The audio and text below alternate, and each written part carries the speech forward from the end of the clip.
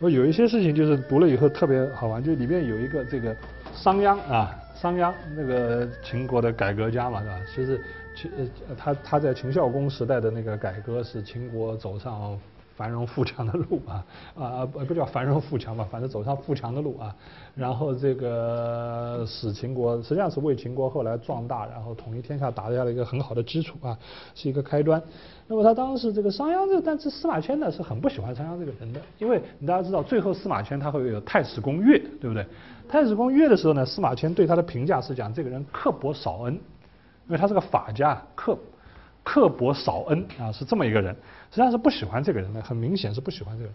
但是呢，司马迁对这样一个可能基本上他并不喜欢的人呢，他实际上是有同情的了解的，而且呢，能发现他确实有过人之处。啊，他早先那个故事非常生动，有的时候那个故事是什么呢？讲这个商鞅少早先，商鞅是魏国人啊，商鞅是魏国人，他呢原来呢姓这个他是姓这个公孙氏的啊，公孙公孙鞅啊。这个少好刑名之学，然后他当时呢跟这个魏国的相国魏相啊，是这个魏啊，跟这个魏相，这个魏相叫什么呢？这个魏相叫做这个公叔座啊，就是那个呃座位的座，跟公叔座呢，这个在他门下。那公叔座呢是魏魏魏相啊，他呢非了解这个商鞅很贤能。呃，但是呢，这个他很年轻，还没有来得及提拔他呢，这个这个公公叔这个公叔座就生病了。呃，古古人出现这个病啊，是一个比较严重的事情啊，就不是一般的生病，那是比较重病。那么重病呢，他这个魏惠王啊，就是那个那个那个呃梁惠王了。魏惠王呢 就去问他病问疾啊，就问疾问病，问病比较严重了啊。他说你这个你这个病啊。如不可讳，如不可讳，当然就是说这个如果我不好讲了，就是说其实如果万一你不行了怎么办？这个将奈社稷和？这个天下怎么办？公叔就说：我这里呢有一个叫公孙鞅的，年纪虽然小，但是有奇才，愿往举国而听之。实际上就是推荐这个公孙鞅，让你以后都交给他。那，魏惠王一听以后呢，不想，不接茬，不接茬。这个魏惠王看完病，他没答应，然后要走了。要走的时候，公叔痤就拉住他，他说让，而且让边上的人都走开，啊，给他说悄悄话。他说，如果你不听我的话，不用公孙鞅的话，那个要把他杀掉，要杀了他，不要让他出境。魏惠王听了以后就答应了，说好，我就照你的办。他走完之后，这个公叔痤很有意思，就把商鞅找来了，就把公孙鞅找来了。就把这个事情讲给他听，是怎么回事啊？这个你看这老奸巨猾的这个官，那跟他讲给他听。他说：“他说，哎呦，他说王呢，我我推荐你，但是呢，王呢，王色不许我。他就他表现出来那个，他不答应嘛，所以不许我。我呢，我要怎么做？我要先君后臣，所以我已经跟他讲了，如果他不用你，我就推建议他把你杀掉。那这是先君，但是后臣呢？我现在告诉你，所以这个。”大王已经答应我了，现在我考虑到你，你赶快逃吧，你赶快逃，叫做商鞅逃。那有意思的是什么呢？这个商鞅就曰：“彼王不能用君之言任臣，你不能用你的话来把举国交给我啊，委与我重任，又安能用君之言杀臣杀臣乎？说不去，他不走，他有什么好走的？他不听你的话，重用我，也不会听你的话杀了我的。”不 用不着的，所以呢，这个完了，但是果然，这个魏惠王走了以后，就跟左右讲，他这个公叔痤实在是生病，病得太重了。他说这个人悲乎，欲令寡人以国听公孙鞅也，岂不备哉？就是他这个老糊涂，生病到这个程度，他说让我把整个国家交给公孙鞅，简直糊涂蛋了，这个老糊涂了，这样骂的，你 根本不听。哎，这个里面呢，当然是一个是一个这个事情，我我特别关注，就是我我一直讲早期史书里面特别有意思这些方面。就这个事情，我是真的，应该是真的事情，但是它不是虚构出来的，很可能是真的一件事情。那真的事情里边，实际上是看到这个人情，就用这么一个故事，啊，这个看到就多种多样的人的性格，魏魏惠王的一种这种这种性格啊，这个公孙痤的这种 这种老官场上混的人的性格，那个公孙鞅这样一个年轻的非常有能力啊，而且非常通透人情啊，非常了解这个人心的这样的一个人形象。所以这个地方实际上，在这个地方你可以看公孙鞅实际上是一个正面的。他一开篇的时候给你一个公孙鞅是很正面的形象，所以他很有意思。就是他一个传，他即使是不不喜欢的人物，但这个人物其实可能是。可能可能可能他还是会把他很好的方面啊，他的多面性会展示出来。这是一个能干的人。他当然后面写的有很多很生动的地方，所以我想就是说这个这个这个他对人人的这种理解实际上是非常重要的啊。就是说如果一般的说你只看到这是一个好人，再看到这是个坏人，那这个可能就是呃不可能有这样的一种嗯对人物呃不会有那样的把握。那么除此之外呢，就是说我觉得他特别用写人物，他有一些特别的。特别的方式，这些特别的方式其实是非常、非常、非常重要。那个，比如说他会用一些，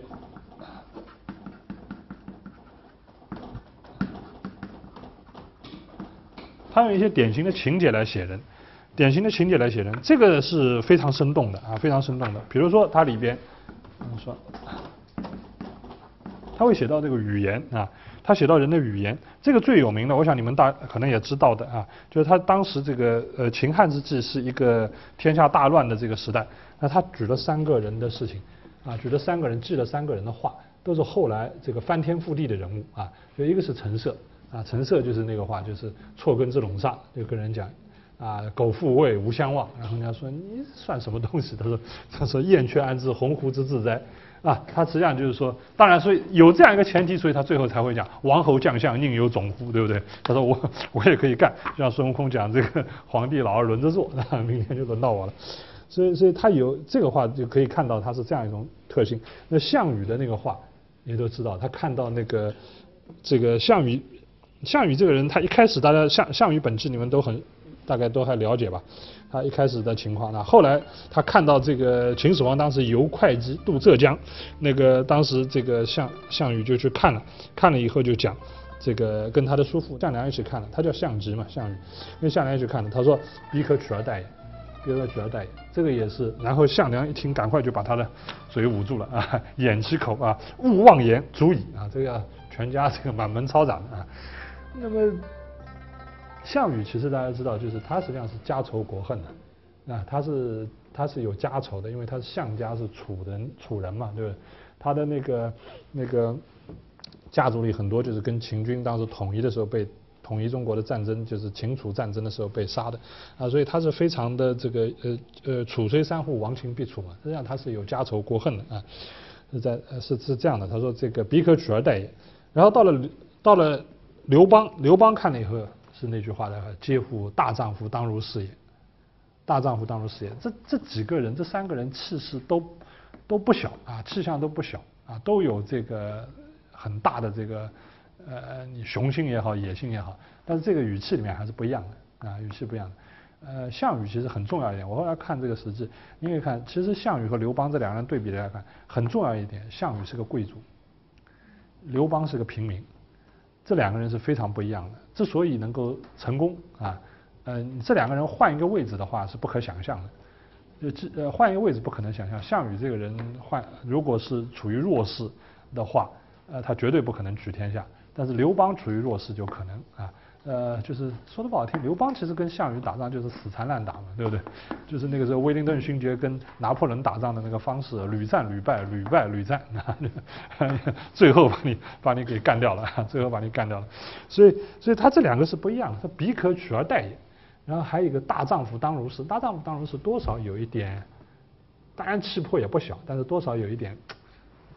有点仰望的这种口气啊，说真正一个英雄就应该是这样，这样才是个真英雄啊。但他这个项羽就这有什么了不起？我可以 取而代之啊，所以这是不一样的。所以他用语言，然后还有很多就是说，我觉得很重要，就是说他用一些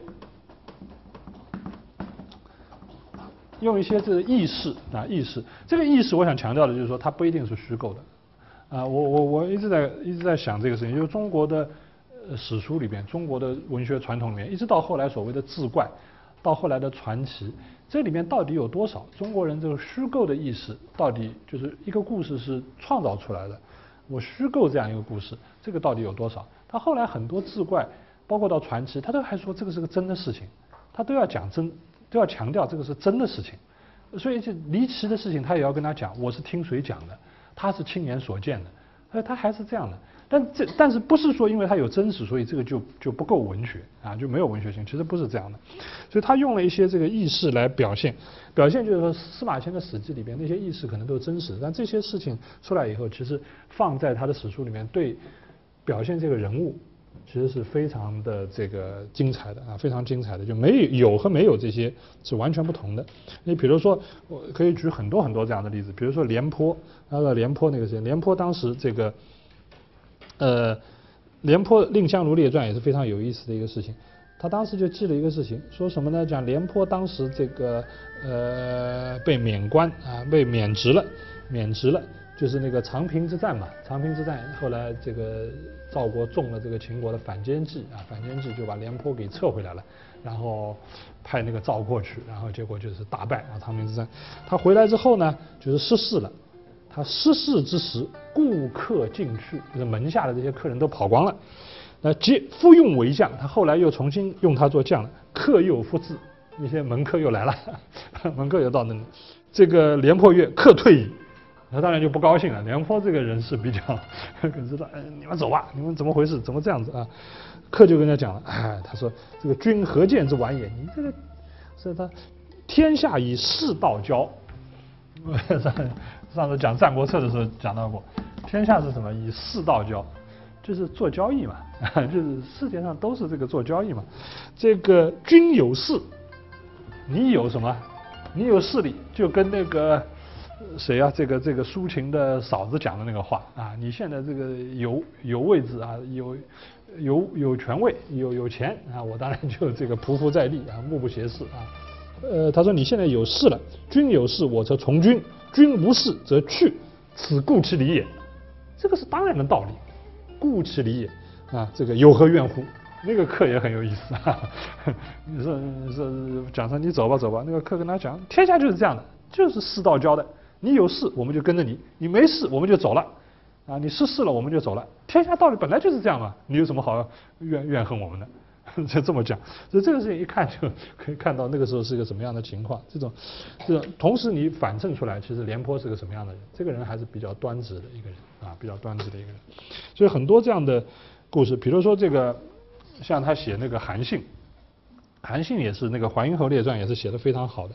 啊，他写的非常好，实际上他有很多细节也是通，也都是通过这种怎么讲，就通过这个细节来写出这个人物的特别。比如韩信，韩信这个人身材高大，这个是非常那个的。但是大家知道，早时早先他什么都干不了，结果那个媳妇那个朴母啊接济他，他才他才那个。结果后来那个当时一个就是淮阴那个一个一个屠户啊，这个途中少年就侮辱他，就叫他要胯下之辱啊。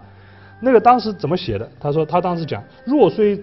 这个长大好带刀剑，钟情雀儿，那个那个家伙就拦着他啊，就跟他这样讲，然后就跟他讲，就是说信能死是我，不能死出我胯下，啊，你要不就跟我拼命把我刺刺死，要不就从我胯下爬过去。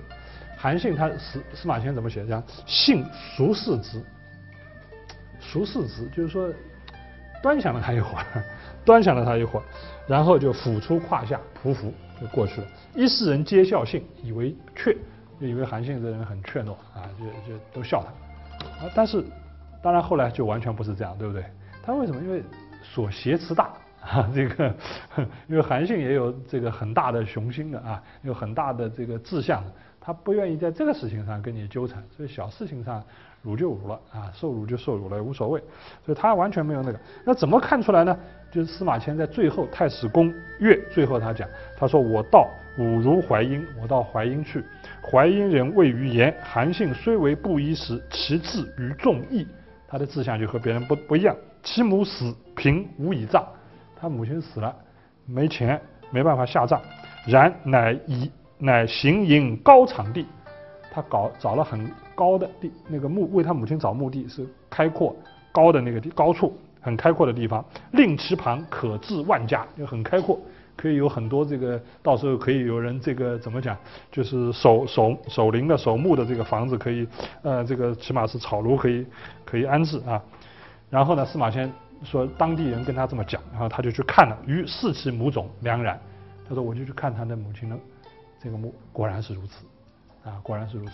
那这个事情都是他年轻时候的事情，那两件事情放在一起，那个是开篇就讲，这个是到最后才讲。那这两件事情你放在一起的时候，就可以看到韩信为什么为什么？因为他他实际上是他不是那时候真的胆小，或者那时候他的落魄，他真的就是有。其志于众义啊，那时候就有就有很大的雄心啊，只是这个世界上不愿意纠缠而已啊。那因为为什么他他那时候什么都没有啊？这个母亲钱都没有，根本想不到下葬的地方，对不对？然后他找了一个很开阔的地方，这个呃料定自己是要发达的啊这样的情况。然后呢，还有很多这样的故事，还有一个就是说《史史记》里面特别有意思，就是说除了写这些轶事这些，还特别讲一个就是对比啊，他有很多地方用对比的方式来写。啊，对比的方式，比如说这个张良和陈平是刘邦手下两个非常重要的谋臣，这两个人是非常不一样的啊。但是这两个人呢，实际上是不一样的，就是说张良可以讲是个贵族，他是韩国的公子啊，这个那个陈平呢是一个平民，所以这两个人呢都有大志，都有大志，呃，而且呢都各有特点，呃，都有特点，那个。张良因为他有有这个可以讲是家仇国恨嘛，他要报仇，所以一开始就是行刺这个秦始皇那个事情大家都知道，行刺秦始皇，呃，所以他他是这样的人。那么张良呢，就是那个《史记》里面记了他一个故事，这大家也都知道的，就是他经过一个桥，碰到一个老人，啊，老人把那个鞋子一踢踢到那个桥下，他说你给我捡上来。然后张良就把他捡上来了，捡上来以后他说：“哎，你还不错。啊，过两天哪天晚上，啊啊哪天早晨什么时候我们约了什么时候见面，啊几次啊张良都晚到。啊，结果到最后几次到半夜，张良很早赶去，呃才迎到那个老老人，那个老人然后就给他一卷这个兵书，说你好好读读。啊如何如何。那个呢其实是后来这个谁啊，就是那个那个那个那个苏轼就苏东坡写过一篇文章《留侯论》啊，就是讲他这个能。能忍，用这个来说他能忍啊，能够忍能忍而能够成大事啊。苏轼的《留侯论》讲：古之所谓豪杰之士者，必有过人之节，人情有所不能忍者啊，能够他忍住人情不能这个匹夫见辱啊，如果有侮辱，匹夫见辱呢，拔剑而起，挺身而斗，这种呢，此不足为勇也。所以在这个意义上，韩信也是个勇者啊，就是因为他。当然，这个侮辱到眼前的时候，他不是马上就跳起来拔剑而斗啊，他能够忍住啊。天下有大勇者，是猝然临之而不惊，无故加之而不怒，使其所挟持者甚大，而其次其志甚远也。他的志向非常的远大啊。所以这个韩信也好，或者是张良也好啊，其实都是这样的，呃，都可以讲是这样的特点啊。那么，呃，张良当然还有很多这样的故事了，也非常精，非常有意思的。陈平。是一个平民，是一个出身平民，家里很穷啊，这个就是农家啊，呃，但是他也有大志。这个史史记里面也经常用这个司马迁也经常用这些故事来来来写他，就说说那个故事其实非常有意思一个故事，就是说他有一次这个他们乡里面进行这个祭祀，祭祀以后他来分肉，分那个肉祭肉啊来分，分完之后就是分肉食胜君，他分得很好。这个，然后父老就说了啊，讲说很好，这个陈孺子之为宰，啊，这个你你你这个陈家的这个小小子，这个做的不错。陈平就说了，嗟乎，使平得宰天下，亦如是肉矣。如果让我来宰割天下，宰治天下，就是安排天下，哎，跟这个分肉差不多哎，这样，所以这个是一个非常那个的人。然后这个人大家知道，他这个陈平也是身材很高大啊，这个呃相貌很好啊，这个为人他说为人长大美色啊，又长得高大又又漂亮啊，呃，但是别人呢这个呃他就是都是靠他叔靠他的这个这个这个哥哥这个。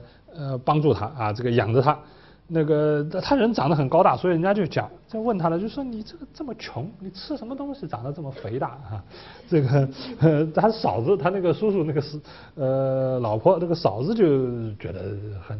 很不喜欢他，就跟他讲，哎，他也就是食点糠，也就是食糠，啊，没有什么了不起啊。他说有树如此，不如无有。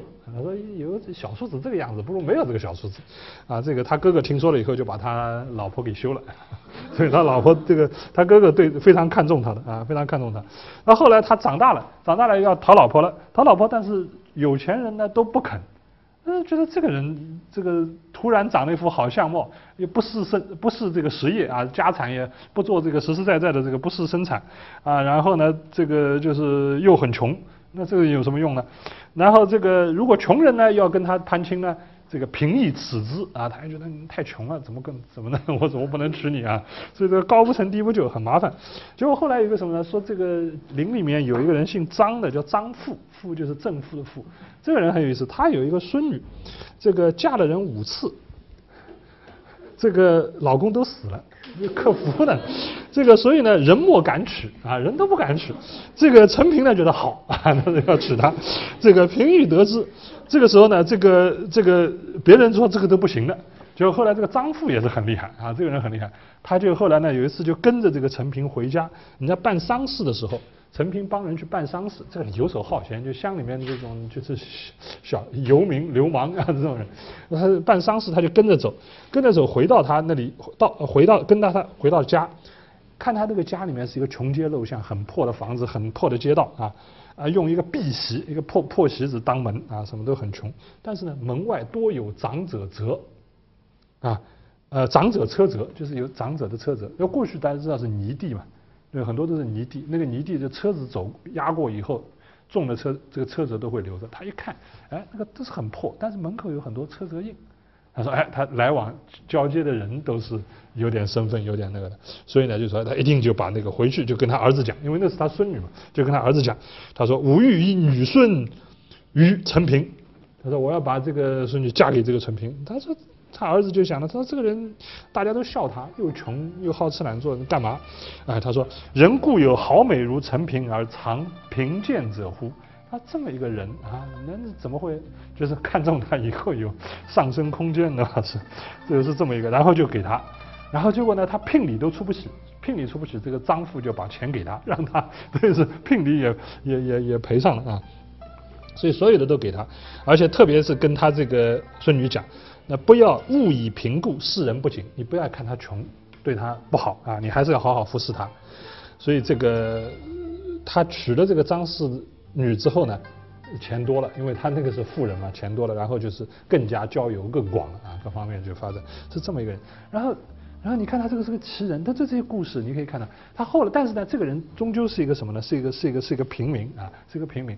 他平民表现在什么地方？就是有些你可以看，平民和贵族差别在什么地方？就是贵贵族有些事他是不会做的，因为身份高的人啊，他经常是说有些事我不能做。但是身份低的人呢，就是无不可无不可为，什么都可以，什么都可以做，啊，这个所以这点是他厉害。那么，这个就是陈平一开始也是在项羽手下做官的，后来呢，他要离开这个项羽，离开项羽去投奔这个准准备离开，准备到汉王那里去，准备到刘邦那里去，走到那个路上渡河，坐船，这碰到船呢，那个是一个。是算这种浪里白条张顺之类的角色，一看他呢，长得这个传人见其美丈夫啊，他形容很好嘛，那美丈夫独行，疑其王将，怀疑他是逃亡的这个将领啊，就是有身份的人，不是一般的人。腰中当有金玉宝器，就想他这个肯定有宝贝，身上肯定有。木之玉杀瓶，就总是看他，因为不自觉的看看他，要要杀他。平恐，陈平也很恐慌，坐在船上很恐慌，他怎么办？后来一想。解衣裸而，他就是说把衣服都解开了，把衣服都脱掉，就是赤膊，要脱赤膊。然后他说我帮你划船，我帮你撑船。然后呢，船上一看，哎，你衣服脱下来没有什么金银财宝嘛，就没有杀他，就没有杀放过去。像这种东西啊，这种这种这种这种极致啊，其实真的就是怎么讲，就这这种智慧，我想就是。陈平这样的人，你很难想象张良会这样，所以有很多这个这种对比。